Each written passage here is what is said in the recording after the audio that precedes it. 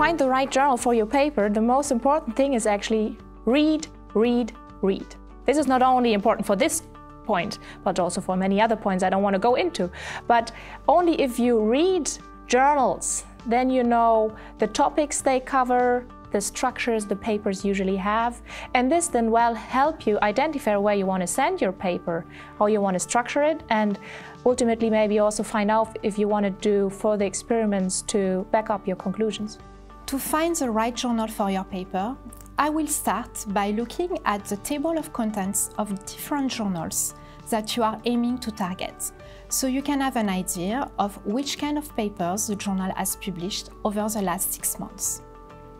Something else you can do is ask a colleague who is not working in your field specifically to read the paper and extract the most important finding.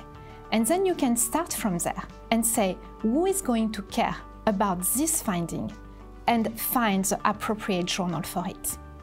So it's really important to find the right journal for your paper, and there's a number of things that you can do.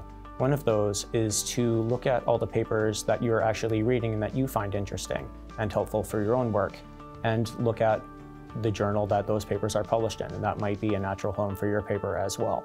You can also talk with colleagues about your research and get a good sense from them as to where they think your paper might have a good home.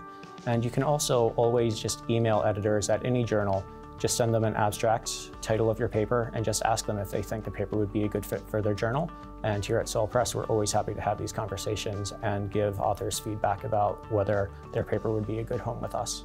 To find the right journal for your paper, I think the most effective thing you can do is to browse the journals that you are considering over, look at a few different issues and decide if that journal is publishing papers that are broadly similar to your paper. So for example, if your story is very medically oriented, you would do well to target a journal that publishes medically oriented work. If it's a mechanistic story, you would do well to target a journal that focuses on mechanistic stories.